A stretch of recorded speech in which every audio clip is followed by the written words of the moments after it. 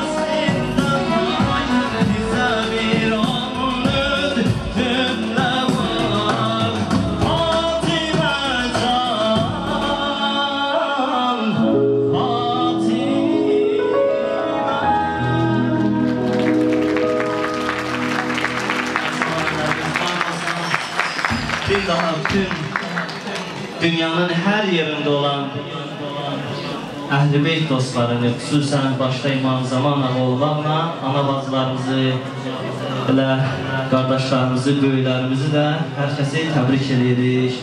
Allah bu gözəl günümüzü mübarək eləsin. Bir gürültülü alqışlar.